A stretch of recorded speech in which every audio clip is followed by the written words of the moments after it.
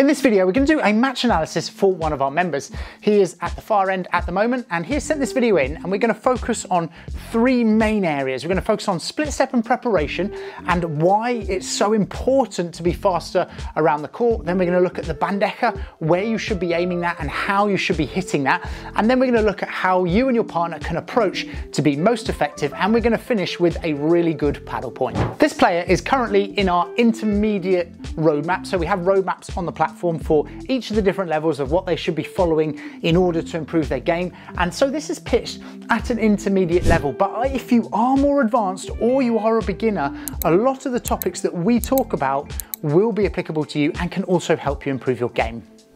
So let's dive immediately into the split step and why that is an important part of your game. You're going to see one of the players here serving and he uses a split step quite nicely when coming forward.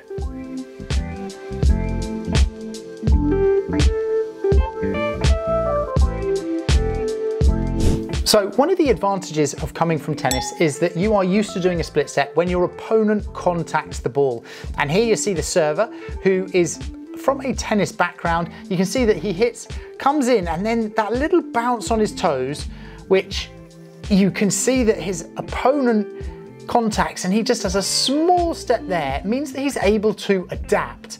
Now, his partner, on the other hand, off this next shot, you'll see that there, there isn't a split step there. There's a slight movement of the, of the left foot, which we can see there, but, but there's not actually a, a split step. And therefore, to get into a position to hit this ball, you see that he's just ever so slightly late moving into that position and therefore would often change his shot. Now this shot I would normally recommend to try and hit a gancho, but if you have been a little bit late with your split step, then you can often find that you don't quite get into position.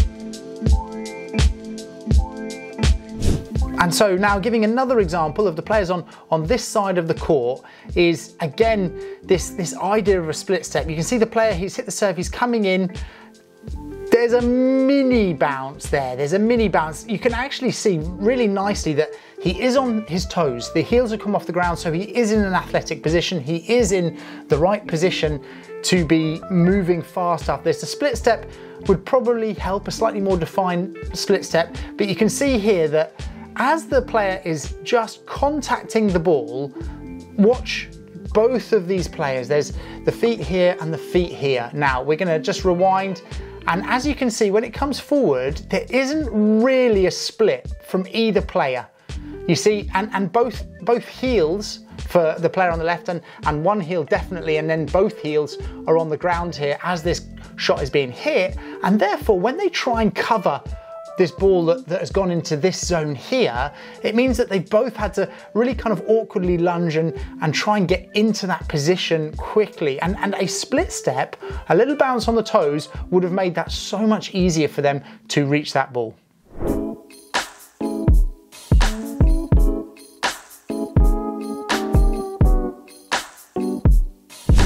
And while we're looking at the split step from the serve, I think this is a, another example where once the player hits the serve and they move in towards the net, so often a, a, conversation that we have with players, they say, oh, but look, we've got this angle of fence that the opponent can hit into.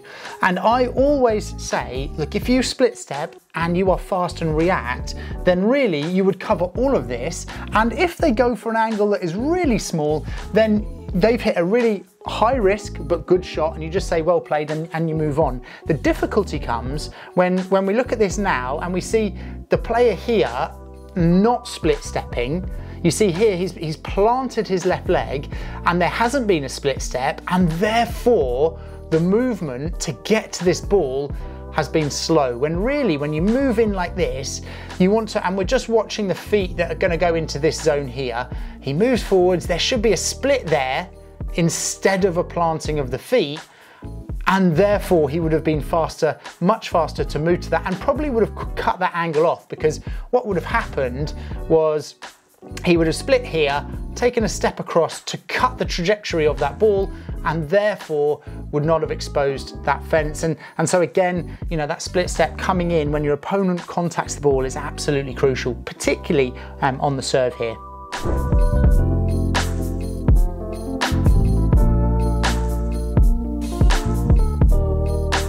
And we're just going to use one more example of the, the split step and this time from the back of the court because it is so important from the back of the court. But I think hopefully we've got the message across now that every time your opponent's contact, you want to split step.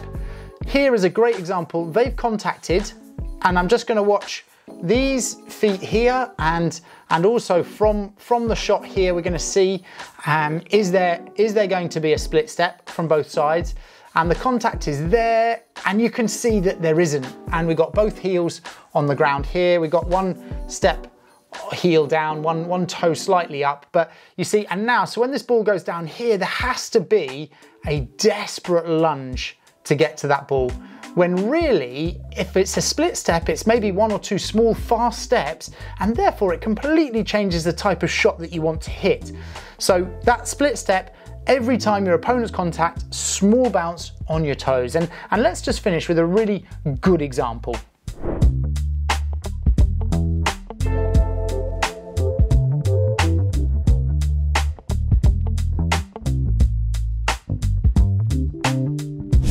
And for the good example, we're going to come back to our, our tennis player here and, and immediately I'm, I'm looking at this zone here and, and really watching as that ball is contact, that bounce there. You can see there's a little step, a bounce, both toes, and then ready to move. Even though the ball hasn't gone to him, it's gone to his partner, he is again, look, and you can just see, again, we're about to see another split step here. There's that bounce on the toes. And you see, and, and you can look at the difference between him and his partner now.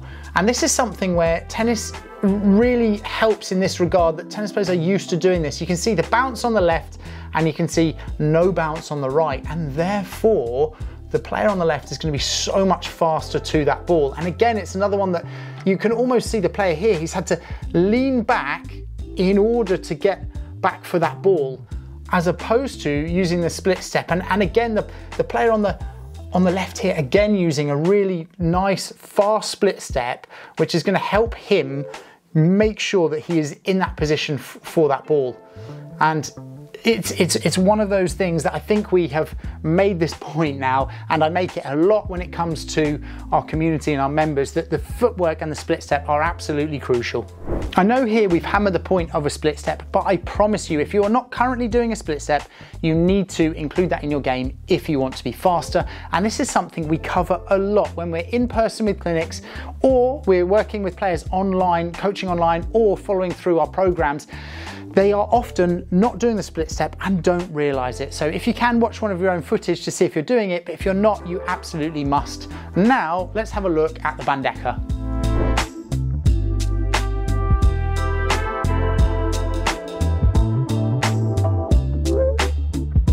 So to start, we're gonna look at some good examples of the Bandeja, what we're looking for here.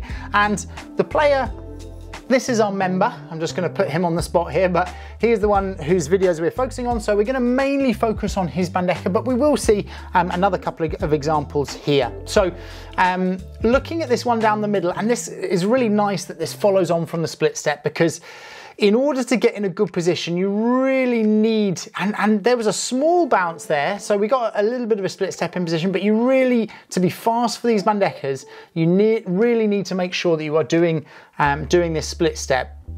And coming across here is important that you are able to communicate this with your partner. So the first one, um, this is definitely this is definitely the left court players. He's come across nicely a little bit open with the shoulders and it is a little bit of a short bounce where, where, where this ball goes, um, but generally pretty well executed.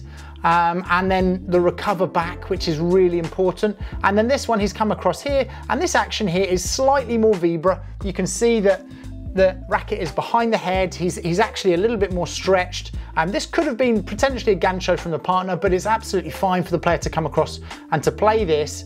Um, and he's played that nicely into the corner. Now, had he hit that in the same location as the previous one, he would have been in a little bit of trouble to recover. But as he's hit that nicely deep into the corner, he's actually uh, managed to hit a really good, good shot there and recovered nicely back to the net. So that is a good example.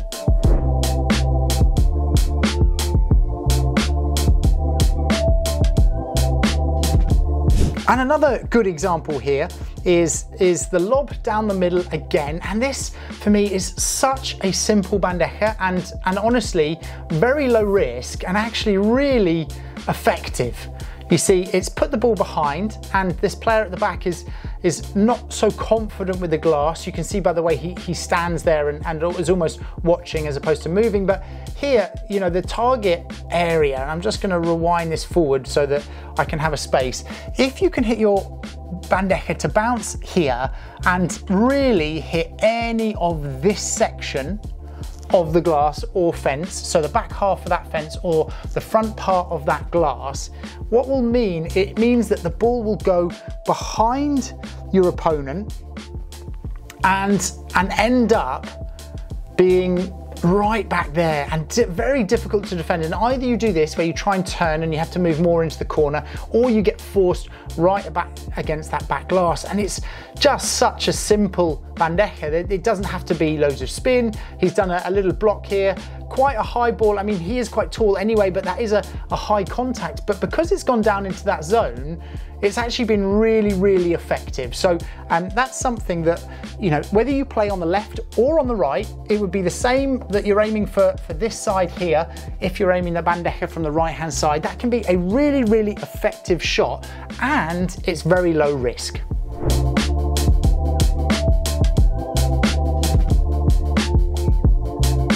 So as we increase in difficulty and risk, you can see here that the, the lob has been played from, well, from the middle, down the middle. And, and in this position here, I often see players taking a really risky option of going into this zone here. Now, I would say that he's done this quite effectively in this point.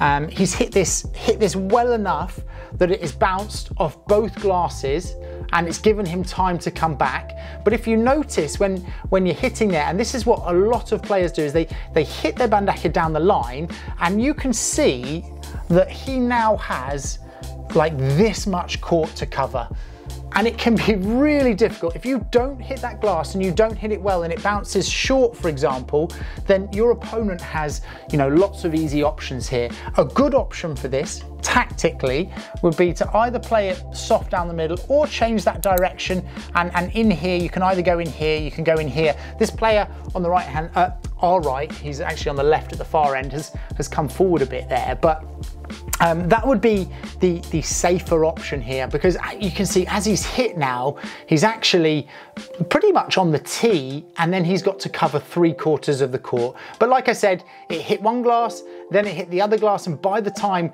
the player had contacted, he'd done a great job of recovering his net position back to here. But you just got to be really conscious of that when you were hitting your bandeja down the line.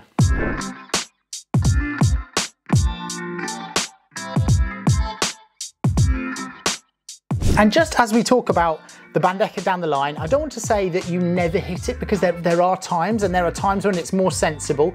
Like here, for example, we're hitting the bandeja down the line from, from this position. And you see, this position here is very different to the previous position where you're over that tee. Because from here, you now have a choice to recover. And we've got lots and lots of videos on our platform, but also on, on, YouTube of where to recover to. But if you hit down the line, you've got to just take this small adjustment here and his partner is gonna make their way here. If you play cross, you're also in a not a bad position. You've got to make your way there and then your partner stays where they are. But, but from this position here, it's fine. The difficulty was this one having to cover all that way across here. But you'll see now is a good example. They've played that and they head down the line off the side glass again, buying lots of time to come in. And that is actually not a bad time to play down the line. You could have gone either way, but, but generally I would say most of your balls should go cross with, uh, I would just say a percentage of about 60% cross, I would say. And then I would say probably 30 to 35% down the middle and then you know, a five, maximum 10% uh, down that line.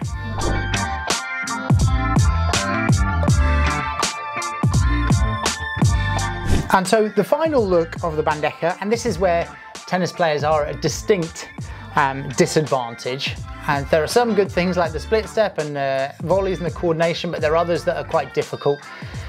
To play your Bandeja from this position now, and, and I'm just gonna circle where the contact is with the ball, and it's over the head, very much like a tennis serve. It's physically impossible to, to keep that low. And, and this is just something that, that tennis players, they need to, need to learn is this contact to the side with a little bit of slice, because here you can see that ball, not, like it had good depth, like we've mentioned before. You can see the ball is, is just about to bounce down into that corner there, but the idea of that keeping down is, is, is very difficult. And you see what's happened is the player has done a good job to follow it round, and now as they're hitting, so if you look at their when they're contacting the ball, they are in line with the second post, which is actually where you should be when it comes to your net position anyway. So, and that was given to him by the fact that the contact was too high and the ball was hit too hard off that bandeja. So um, that is a slightly more technical thing. You've got to work out how to open with the racket face, hit a little bit more slice and hit a little bit more down side to the body. And if you are a tennis player, this is almost certainly um, something that you will need to work on. And I had to work on it myself when I came from tennis, um, but it's, it's something that will be really, really important for Bandeja, for Vibora, for all of your smashes, um, if you want to be able to keep it low at the other end. So we discussed the bandeja, the direction you should be aiming, where you should be returning to, and what technically you should be trying to do to keep the ball low at the other end. Before we go on to the approach and looking at where you should be approaching and how you should be getting to net, I just want to let you know that our member here has sent in this video to have his match analysed. We also do this on a shot by shot basis. So he sent many dozens of videos of his shot in so that we can analyze those. And it's something you could sign up today on our free trial, put your videos in our community today, and myself and the other coaches will give you tips on how you can improve that part of your technique so you can actually play better padel. Now let's have a look at the approach shot and how you best can take the net.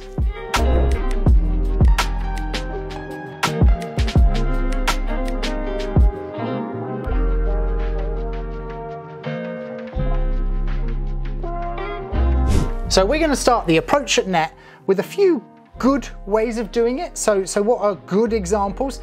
And, and I really like this example here because, well, the first attempt, and I would say this is very another another tennis player trait, and I feel like tennis players getting a bit of a bashing here. But um, when a tennis player comes to a padel court, they often are trying to net rush. And so here's an example: he hits a ball that is just generally to his opponent, just to the volley, and he's taken these steps inside here. And this is just uh, an unnecessary risk. Um, but here the volley has gone short, and this is one of my favourite ways of getting a short ball. And what a lot of players would do here is try and blast through their opponents. But what you should do, and they've done exactly the right thing, is just to pop that over the head and then come forward as a pair. And for me, that is the best way to come to net. You get an easy ball, you hit the lob, you come up as a pair, you've got the most amount of time available, and, and that's really what we should be looking for when it comes to taking the net.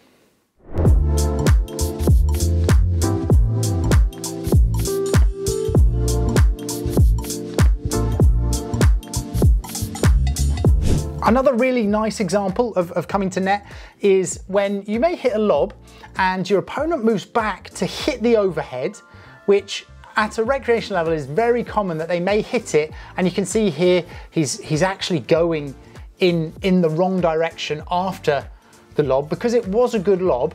And and so now what the player done has done at this end is instead of hitting to the volleyer, he's hit to the person at the back and then they've come forward together. And I, I really like that because it's just a simple, again, it's another simple way. You've hit a good lob and the way that you can be rewarded for that is then to hit down to the player at the back. So many players would hit this to the wrong person. They would hit to the other person who is at net, but it's really important to hit to that player at the back and then make your, make your way in. And again, a really nice way to take the net.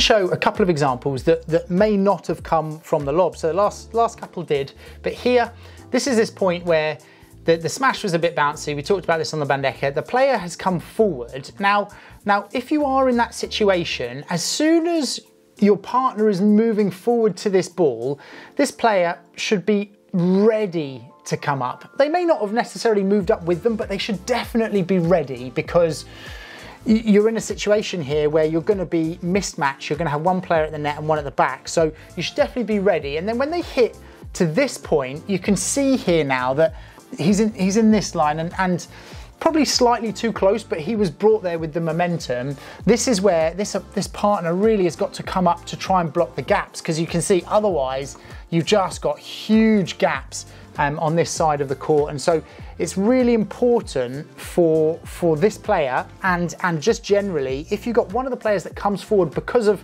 what's happened within the point, you try and join them if you can.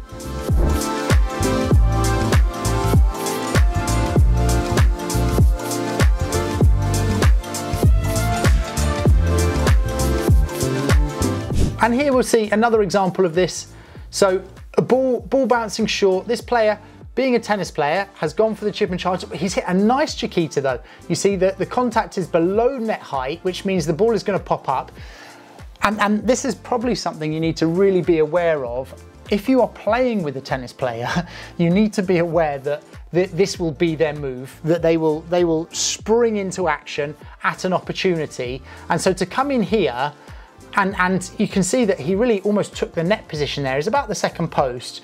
Now, this, this volley, could have could have been better either one of these. But if you're in a situation like this where your partner's come forward, you're hitting an exchange of two volleys, you absolutely have an opportunity here to take the net position. So you've got to move forward with them to cover those gaps because otherwise, and this is what happened, you know, the opponents are, are scrambling. You can see our, our member down the other end, he's, he's scrambling to stay in this point. He's just blocking it back and he's ended up winning the point mainly because the partner didn't come up and cover the net. So if one of the players goes up close, whether they've chipped or charged, they got there the right way, if the ball is then played back to them and you have a split second of time, then you really should try and join them if you can.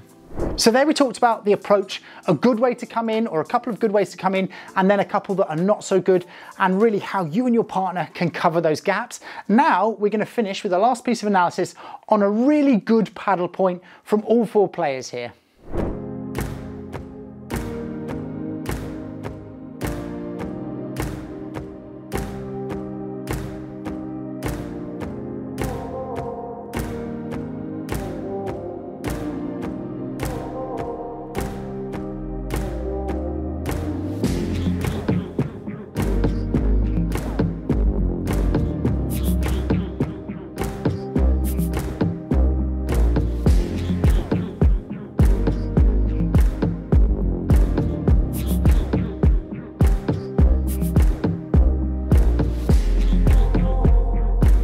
And as we go through this, I'm going to talk about why this is such a nice, a nice padel point. I mean, it even starts from the beginning. It's a nice serve down the tee. The returner has hit a good shot. The player now has then got this space open in the corner, and that is a really good combination. Either serve towards the glass and then volley down the middle, or like has happened here, serve down the middle and then volley to the gap. And so that's exactly what, what has happened here got the, got the space, come back, hit a really nice bandeja, recovered the net well. You can see the, the tennis player at the back itching, itching to come in, but they haven't, he, there was no change of direction there, you see. So, so played a good bandeja. This ball came up here, and this is an acceptable time. This, this is being hit by this player now. This is an acceptable time to, to change the direction. Yeah, rather than changing the direction and, and, leaving yourself exposed, by, by doing that, and he actually played the ball first, he's now in, in the correct position here, and it was only a step across for his partner, so that was well played, that was a good time to change the direction, and now, you know, they were forcing to keep the net, the players lobbed, they came forward together, that was great movement. As a coach, I'm really happy to, happy to see that both these players have made their way, way, back. You see, he made his way back because his partner was also at the back of the court. So that also makes me really happy to see that. Players come forward off a short ball. He could have gone with his partner a little bit faster.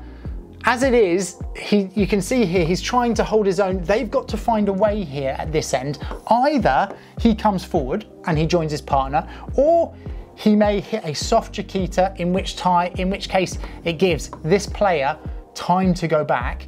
But either way, they've got to find a way to, to match themselves back up. And and you can see that that's almost what happened off a, off a shorter ball, and then they've both gone back together. As you can see here, that, that the player ended up being a little bit closer than his partner, and so this is one of the few times that I would say if the ball does go into this zone and the player comes across to take it, it is acceptable to switch. Um, ideally, probably the right hand player could have played that, but it's, it's, it's an acceptable time to do that. Nice Bajada there, like low to the feet. Now that we're going to be seeing more and more split steps, there was a miniature split step there, but we would see a better split step in the future, and then a what I would call the ideal setup volley. Yeah, nice bounce in the middle of the court, second bounce by that back glass, and and we are currently doing a, a volley challenge month, which which Jordan here is is taking advantage of. He's doing a great job. He's sent in a lot of videos with his volley, but we focus a lot on the punchiness of a volley and the set how a setup volley can be so incredibly effective, and that's exactly what he's done here and won the point with that setup volley, which is what we're trying to to get all of our members to start doing. So. Um, you know, good job to these guys. Fantastic padel point, and uh, yeah, I think that it was really beneficial to, to go through this, not only with him, which we've already done, but also for you uh, at home. So we covered the match analysis there. Let us know down in the comments what you felt and if any of that rang true to your game. I'm going to put a video on this side of more match analysis, but if you want to instantly start getting feedback on your shots, that is exactly why we have our platform. So if you sign up today, I will see you in the community.